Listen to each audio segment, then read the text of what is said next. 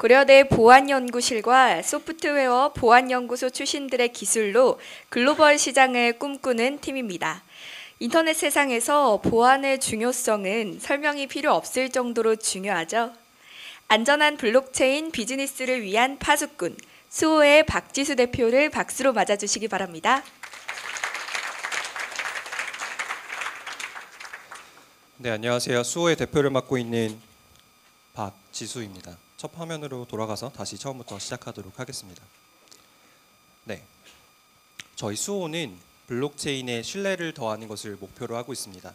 이러한 신뢰는 바로 금융시, 금융시장에서 뺄래야 뺄낼 수 없는 중요한 역할을 하고 있습니다. 실제로 이 금융시장에서 가장 많은 가치를 지니고 있는 최근에 많이 떠오르고 있는 유니콘들은 간편 결제라고 하는 편리함을 바탕으로 유저들을 모으고 금융상품을 판매하면서 엄청난 잠재적인 가치를 가지고 있다고 평가받고 있습니다. 그 다음 기술은 무엇이 될까요? 저희는 감히 블록체인이라고 생각하고 있습니다. 실제로 다양한 금융 서비스들은 2014년도부터 블록체인 기술에 투자를 하고 있습니다. 투자를 넘어서 비금융 서비스인 메신저를 하고 있는 페이스북은 자체적인 암호화폐를 발행하면서 결제 시장을 넘보고 있고요. JP모건이라고 하는 어, 은행은 자체적인 암호화폐를 통해서 더 많은 고객들을 유치하고자 노력하고 있습니다. 저희는 이러한 시장의 변화를 따라가면서 블록체인 기술들을 연구하고 있는데요. 저희가 발견한 문제는 바로 신뢰였습니다. 암호화폐나 블록체인 기반의 금융 서비스를 만들려고 할 때 가장 문제가 되는 부분은 바로 블록체인 계정에 대한 신뢰 문제입니다. 블록체인 계정의 경우에는 여러분들이 흔히 쓰는 은행에서의 계좌와 다르게 여러분들이 추가적인 정보를 확인할 수가 없습니다. 즉 식별을 할 수가 없다는 문제가 존재합니다. 이 말은 화면에 보이는 여러 가지 문구가 있는데 이게 어떠한 의미를 지니는지 저희는 파악을 할 수가 없는데요. 이게 사실 여러분들이 계좌이체를 사용할 때 쓰는 어떤 계좌번호라고 보시면 될 것 같습니다. 여러분들이 만약 이 네 가지 중에 한 사람에게 돈을 보냈을 경우에는 우측의 두 명에게는 여러분들이 사기를 방금 당하시게 됩니다. 네, 이러한 신뢰를 확보하기 위해서 기존 금융권에서는 다양한 기술들을 활용해서 신뢰 정보 혹은 리스크 관리를 하고 있습니다. 하지만 블록체인에는 이러한 기술들을 바로 적용할 수가 없는데요. 이는 블록체인의 특성이 담겨져 있기 때문입니다. 이 밥이라고 하는 사람의 거래 내역은 블록체인 특성상 모두에게 투명하게 공개되어 있습니다. 하지만 여러분들이 보시다시피 5월 7일부터 5월 10일까지 있었던 거래 내역이 정확히 어떤 의미를 가지는지는 알 수가 없습니다. 그 이유는 바로 다 익명화되어 있기 때문인데요. 그 익명성을 만약 블록체인 데이터를 통해서 저희가 식별이 가능하다면이 밥이라고 하는 사람은 5월 7일에는 경마에 암호화폐를 썼고 8일에는 어떤 불법 자금을 가지고 온 사람부터 돈을 받고 그리고 9일에는 빠친코 슬롯 머신을 하는 그런 activity를 했다라는 사실을 알게 된다면은 이 사람에게 여러분들은 돈을 빌려줄 생각을 하지 않겠죠. 이러한 식으로 블록체인 데이터는 앞으로 블록체인이 금융 서비스화 될 때 가장 필수적인 데이터라고 할 수 있습니다. 그럼 블록체인 데이터가 뭔지 아는 것이 가장 중요하겠죠. 블록체인 데이터는 크게 두 가지로 존재하게 됩니다. 첫 번째는 유저들이 활용하게 되는 유저 계정, 앞서 말씀드렸던 Bob과 같은 계좌번호와 같은 유저 계정이 존재하고요. 두 번째로 블록체인에서 smart contract라고 하는 응용 프로그램이 존재합니다. 마치 사람과 같은 식으로 어떤 특정 에이전트로 활용하게 되는데요. 그리고 그, 그들이 각자 이런 식으로 transaction을 하거나 어떤 거래를 하게 됨으로써 블록체인의 기록이 담겨지게 됩니다. 저희가 집중하고 있는 이러한 계정 종류 중에서 구체적으로 집중하고 있는 것은 바로 첫 번째로 사이버 범죄와 관련된 유저 계정입니다. 기존에 있었던 다양한 해킹, 뭐 scam, 랜섬웨어 등은 최근 암호화폐를 바탕으로 하는 트렌드가 트렌드로 변경되고 있습니다. 여러분들이 만약 어떤 프로그램을 다운받았을 때내 어, 계정으로 돈을 5비트코인을 주지 않으면 앞으로 너의 파일을 뭐 뿌려버릴 거야, 잠가버릴 거야 하는 식의 협박 문구를 보신 적이 있겠습니다. 그러한 식으로 암호화폐를 요구하는 식의 사이버 범죄가 증가하고 있어서 이러한 데이터를 저희가 열심히 집중하고 있고요. 또한 이렇게 불법적으로 취득한 데이터를 자금 세탁이라고 하는 행위를 통해서 현금, 현금 화하는 과정을 거치게 됩니다. 여러분들이 불법적으로 취득한 돈을 현금화하기 위해서 거래 내역들을 숨기고 복잡하게 만듦으로써 이런 수상한 transaction들이 발생하게 되고 이러한 데이터를 저희는 집중하고 있습니다. 그리고 마지막으로 contract 계정은 작년 IBM 리서치에서 발표한 논문에 따르면 배포된 이더리움 상에서의 smart contract 95%는 하나 이상의 취약점을 가지고 있습니다. 그래서 이러한 정보도 저희가 집중을 하고 있습니다. 이러한 집 데이터에 더 집중하게 된 원인은 배경에는 저희 co-founder가 존재하는데요. 제가 대표를 맡고 있고 저와 같이 공동 창업을 했던 고려대학 창업을 한 고려대학교 이희조 교수님 그리고 고려대학교 이- 오학주 교수님께서는 저와 같이 블록체인 상에서의 contract 취약점 분석과 블록체인 상에서의 뭐 디도스, botnet 등을 탐지하는 기술들을 같이 개발해 왔습니다. 저희끼리 단순히 연구실에서 기술만 개발하는 걸 끝내지 말고 실제로 세상에 도움이 되는 기술을 만들어 보자라는 취지로 저희가 수호라고 하는 회사를 만들게 되었습니다. 저희가 선택한 방법은 다음과 같습니다. 결국에 데이터를 쌓고 미래를 준비하는 것만으로는 당장의 어떤 가치를 전해줄 수 없기 때문에 현재 필요한 유용한 서비스를 만들어내면서 데이터를 수집할 수 있는 방법을 찾아보자였습니다. 첫 번째로 데이터 수집을 위해서 최대한 최 많이 데이터를 수집하기 위해서 파편화되어 있는 소스로부터 데이터를 자동으로 수집하는 방법을 개발하였습니다. 첫 번째는 첫 번째로 보이는 테이블은 공개되어 있는 데이터와 비교했을 때 저희 수호가 가지고 있는 데이터가 얼마나 많은지를 보여주고 있습니다. 약 20배 넘게 공인된 데이터를 가지고 있고요. 두 번째로 수상한 transaction을 찾기 위해서 저희가 기존의 디도스라든지 botnet을 탐지하기 위해 썼던 기술들을 블록체인에 응용해서 적용해서 탐지하는 기술들을 연구하였습니다. 그리고 마지막으로 smart contract를 분석하기 위해서 기존의 프로그램 1에서 가지고 있는 취약 코드 V가 만약 프로그램 2에도 존재한다면 마찬가지로 동일한 취약 코드를 갖고 있기 때문에 취약하다라는 어, 직관적인 방법을 통해서 smart contract을 취약, 취약점 분석을 하는 기술을 확보하였습니다. 구체적으로는 보안 패치라고 하는 취약점을 해결하는 데이, 어, 데이터부터 취약한 코드를 추출해서 그걸 모두 DB에 쌓는 방식으로 데이터를 계속 쌓고 있는 상태이고요.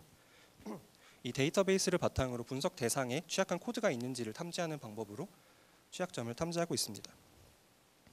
그래서 이러한 바, 일련의 개- 기술과 개발들을 통해서 저희가 제품화에 성공한 기술들은 다음과 같은데요. 저희가 SaaS 형태로 취약점 smart contract의 취약점을 자동으로 실시간으로 분석해주는 서비스를 먼저 개발하게 되었습니다.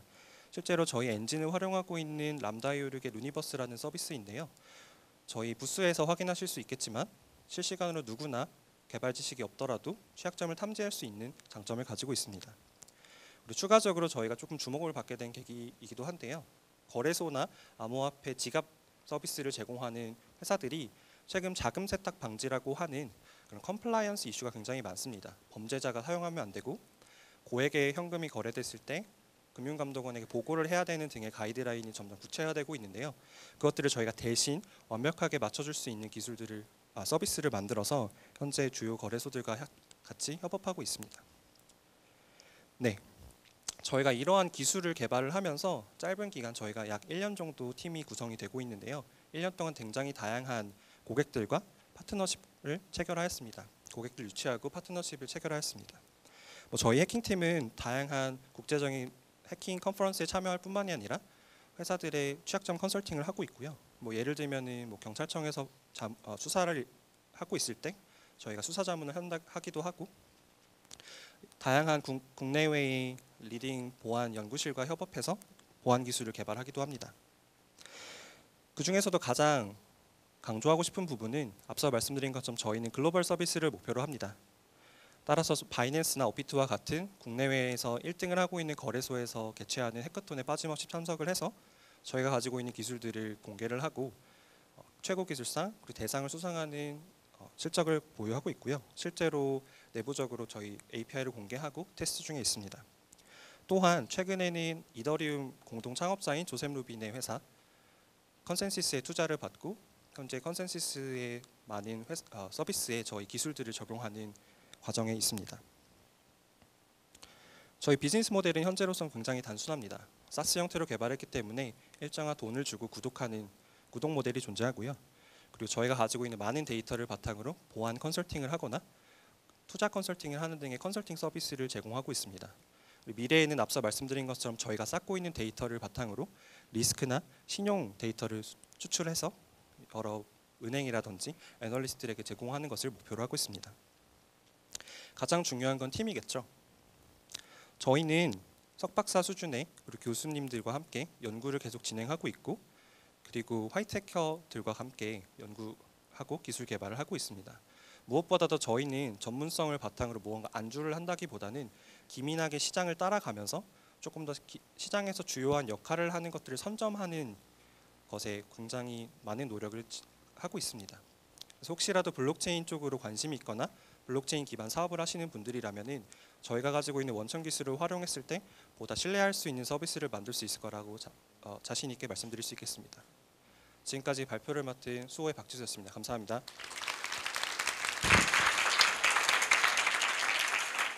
네, 질문이 있으시거나 코멘트 하시고 싶으신 분은 손 들어주시면 감사하겠습니다. 네, 제가 마이크 드리겠습니다. ConsenSys에 투자를 받았다는 게 굉장히 흥미로운데요. 어떤 포인트에서 투자를 받으시는지 궁금하네요. 네, 물론 이제 투자에 뭐 긴밀하게 협업을 하다 보니 너네 왜 투자했어 이런 말도 많이 하긴 하는데요. 사실 저희는 처음에 주목을 처음에 이제 contact을 했을 때는 저희 smart contract 그 취약점 분석 서비스에 관심이 있다고 생각을 했었는데 그것보다는 AML이라고 하는 자금 세탁 방지 기술에 대해 관심이 많았습니다. 실제로 ConsenSys ecosystem에서는 자금 세탁 방지와 같은 기술을 가지고 있는 회사가 거의 없습니다. 저희가 ConsenSys ecosystem에서 그러한 기술들을 공급하는 회사로서 플레이어로서 기대를 많이 해준 것 같고요.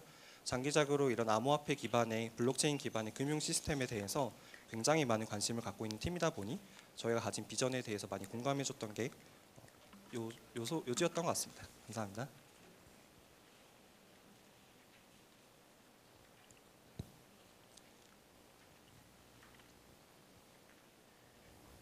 이게 보통 최신 기술 발표하고 나면 질문 잘못하다가 이렇게 실수하실까봐 잘 안 하시거든요. 그 제가 같이 하고 있는 교수인데 저도 잘 몰라요. 그러니까 편하게 편하게 질문하셔도 될 것 같습니다. 특히 학생분들 질문하셔도 좋고요. 투자 관련 질문 빼고는 다 받아들이니까 편하게 말씀해 주시면 될 것 같습니다.